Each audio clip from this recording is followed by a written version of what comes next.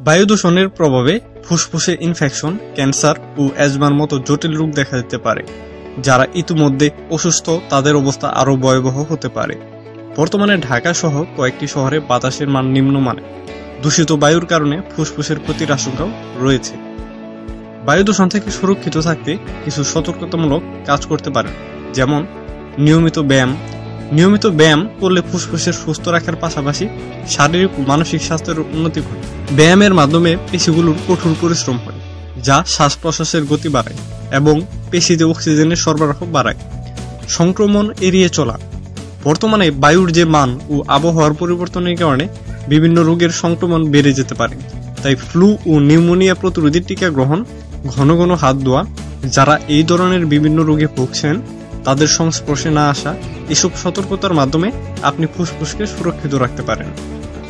ঘরের ভেতর পরিষ্কার রাখা। ঘরের ভেতর পরিষ্কার রাখার মাধ্যমে বায়ুর মান বজায় রাখা গুরুত্বপূর্ণ।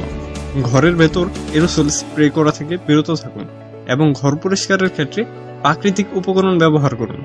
মানসম্পন্ন ব্যাকম ব্যবহার করুন। জলীয় বাষ্প নিঃশ্বাস নেওয়া। বাইরে থেকে এসে জলীয় বাষ্পের ভাপ নিন। এতে শ্বাসনালী খুলতে সহায়তা করবে। এছাড়া ঠান্ডা আবহাওয়ায় সর্দি থেকে মুক্তি দেবে।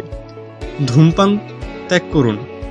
ফুসফুসকে সুস্থ রাখতে চাইলে ধূমপান থেকে দূরে থাকুন। আপনি ধূমপান তিন দিন ধরে করছেন নাকি তিরিশ বছর ধরে সেটা বিষয় নয়।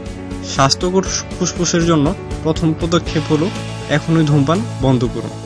ভালো ডায়েট। খাবারের মেনু পরিবর্তন করে ফুসফুসের স্বাস্থ্য সুরক্ষা করতে পারে আপনার যদি ফুসফুসের দীর্ঘস্থায়ী অসুখ থাকে, মন ও শরীর সুস্থ রাখার জন্য অ্যান্টিঅক্সিডেন্ট সমৃদ্ধ খাবার ডায়েটে যোগ করুন। পাশাপাশি বিভিন্ন রকমের ভিটামিন ও পুষ্টি উপাদান নিশ্চিত করুন।